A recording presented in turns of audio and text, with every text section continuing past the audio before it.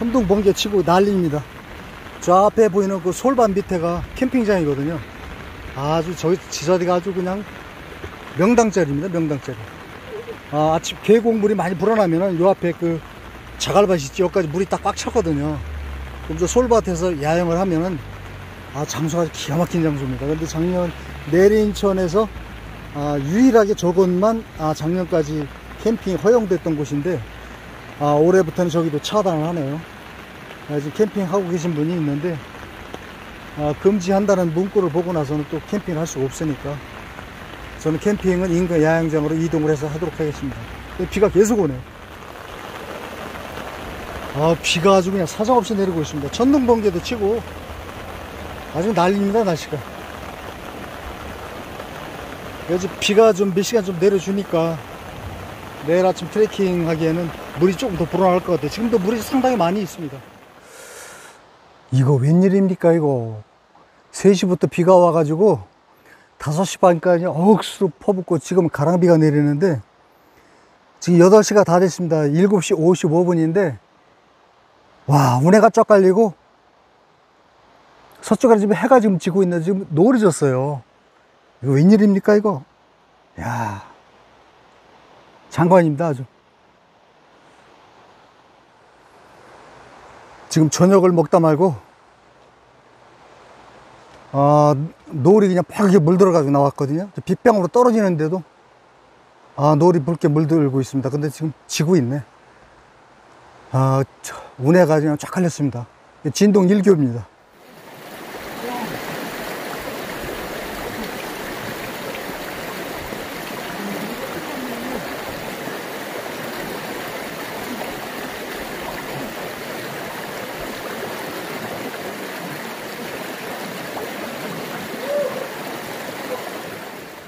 어우, 제가, 제가 작년에 왔을 때는 돌체송화가 꽃은 없었거든요. 이야, 이거 꽃핀 거 보세요. 굴락지는 아닌데, 여기도 몇 군데 또 있네. 돌체송화가. 아, 정말 멋지네.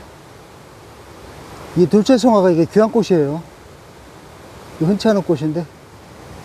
아, 이것도 지금 다 돌체송화인데, 어, 아까 저건 저 일찍 자라서 꽃이 폈고 이건 아직 꽃이 안 폈습니다. 아 정말 멋지네.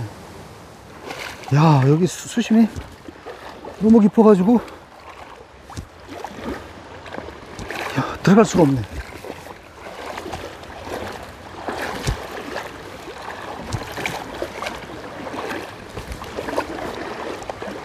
오, 오 여기는 완전 물이 그냥 파란 색깔이네, 파란 색깔.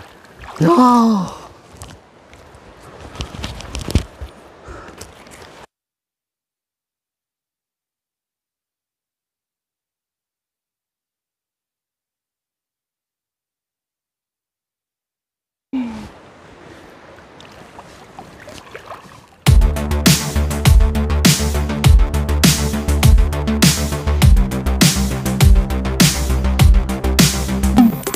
시청자 여러분 반갑습니다. 요즘 무더위가 계속되고 있습니다. 오늘은 계곡 트레킹 1번지 인제에 있는 청정계곡 3둔 4가리 중 아침가리골을 찾았습니다.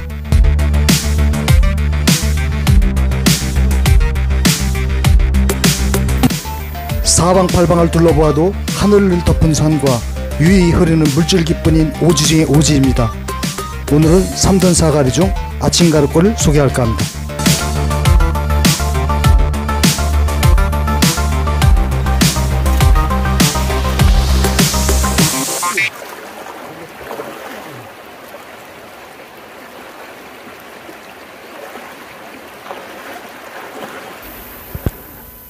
아침가리 골 트레킹의 출발점인 이 방동교에서 날머린 진동리까지는 대략 한 12km 정도 되는 장거리 코스입니다.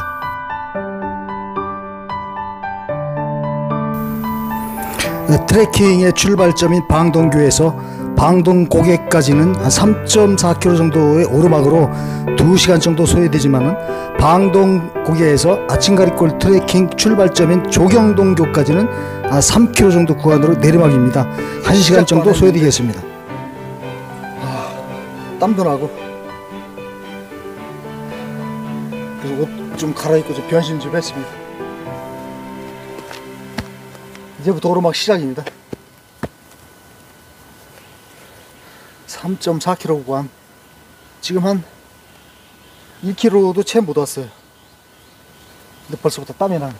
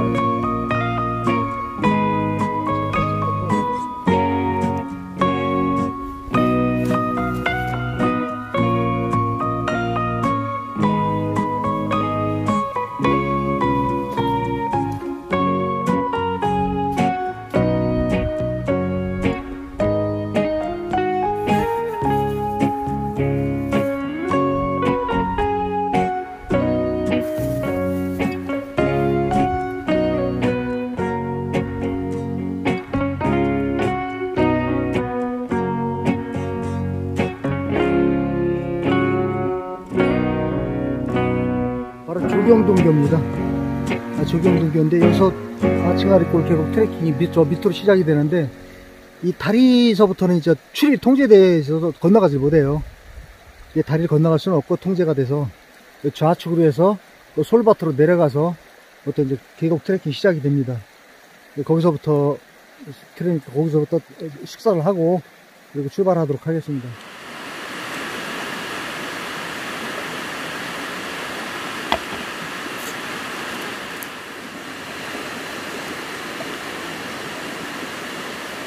아, 물이 상당히 맑아가지고. 그때 12시 넘으면 사람들이 많아가지고. 여기는 수심이 너무 깊어서 제가 들어가다 말았습니다. 아, 사람 목 높이까지 올- 올라오는 것 같아. 한 1m 70은 되는 것 같아. 너무 깊어요. 그래서 건너가다가, 어, 오른, 왼쪽으로 저 배회에서 다시 갔는데,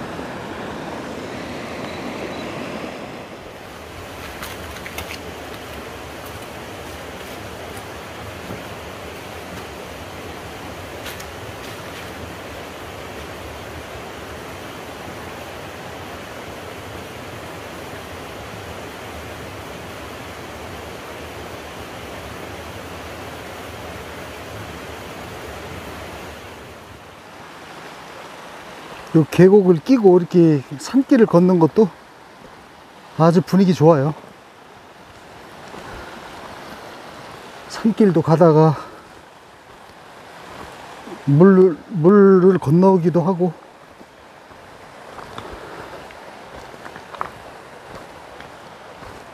계속 이렇게 넘나들면서 가야 되거든요. 아, 저 물이 너무 맑다.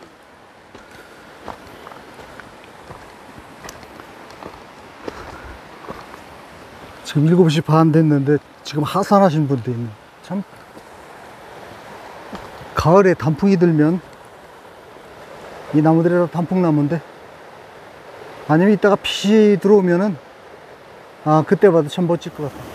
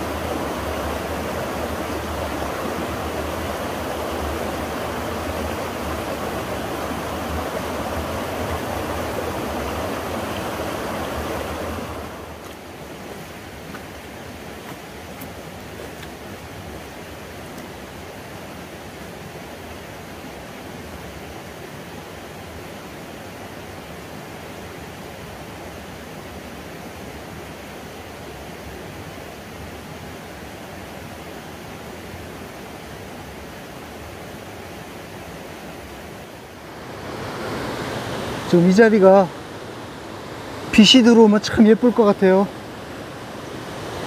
야, 이거 분재를 쓰는 나무인데. 와, 이쪽은 아주 엄청납니다.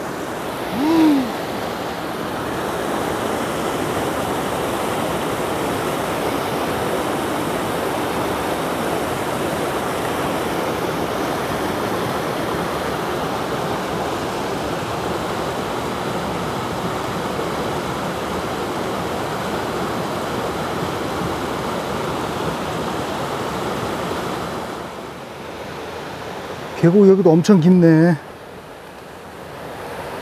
어.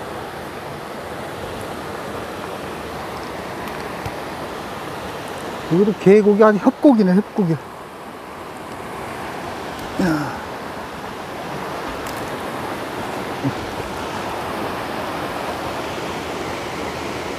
아, 이제 햇빛이 조금씩 나죠? 이따 하산할 때는 많이 날 것 같아요. 산길로 계속 걸어보도록 하겠습니다. 가다 또 계곡이 아름다운 곳이 있으면은 또 계곡으로 또 내려가고 이렇게 산길하고 계곡을 따라서 한 6km를 가야 돼요.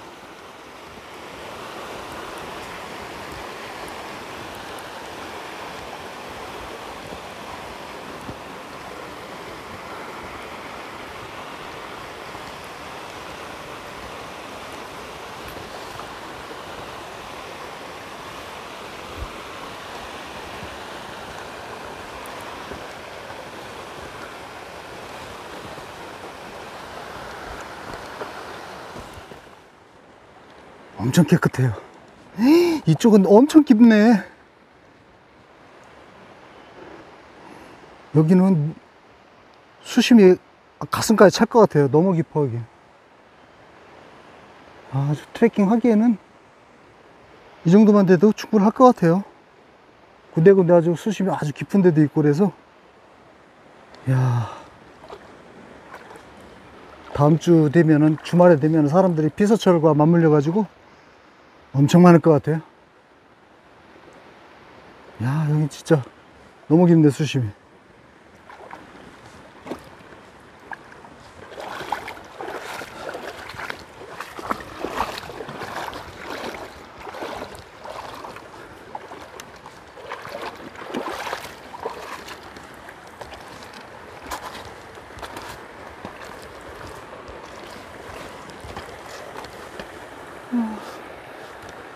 보세요. 유- 물이 얼마나 맑은지. 유리알 같아.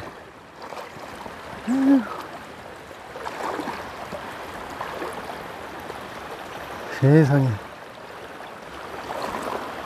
오.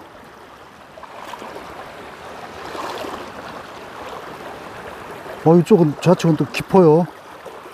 물살도 세고, 이거 바위가 미끄러워서 조심하셔야 돼, 여기.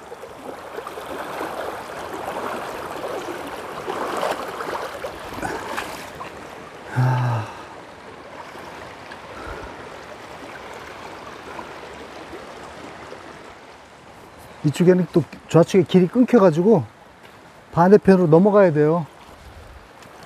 여기가 한 3년 전에 장마가 졌을 때 물이 허리까지 차가지고 아 저희가 일행들이 단체로 와가지고 이 로프를 타고 건넜던 기억이 있습니다. 허리까지 물이 차가지고 이 반대로 건너가야 돼요. 여기 길이 또 좌측에는 없어요. 그래가지고 야 여기 지금도 무릎까지 차니 이게 장마가 지면 허리까지 차가지고 이 로프 없이 건너갈 수가 없어요 여기가. 야 정말 멋지다.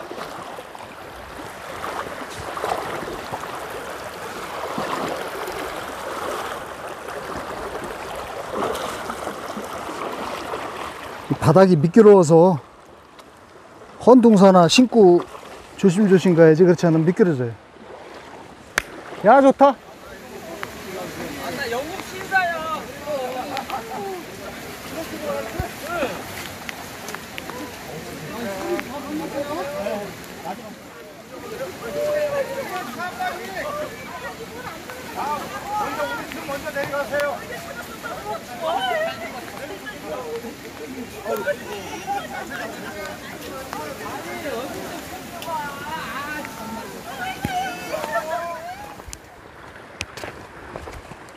어차피 트레킹을 하려면은 물을 건너고 그래야 되다 보면 다 빠져요. 그래서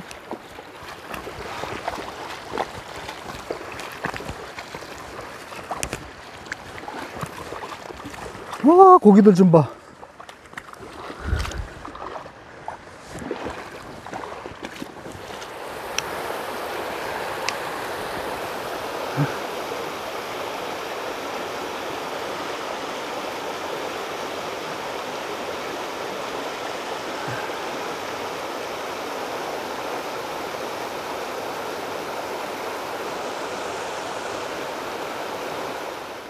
달맞이 꽃이 아주 그냥 아주 만발했네.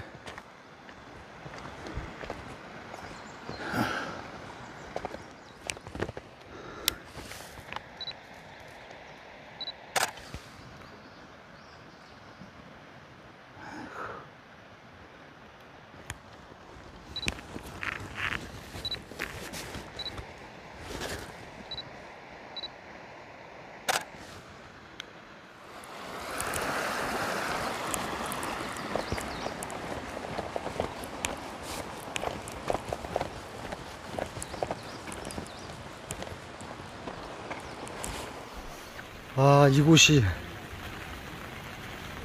내린천의 유일한 그 무료 노지 캠핑장이었는데 작년에 제가 여기서 캠핑을 했거든요. 근데 올해는 그 여기도 취사양을 금지한다고 그러네요. 아, 정말 멋진 곳인데 이제 캠핑을 하시는 분들이 그 텐트가 한 세 동 정도 있습니다. 일단 이쪽으로 캠핑장 풍경을 보고 아 참 멋진 곳이었는데. 여름에 한낮에도 그냥 그늘도 지고 물이 많이 불어나면 그 자갈밭까지 다 그 물이 차거든요. 참 명당 자리였는데. 이것도 올해부터는 캠핑을 금지시키네요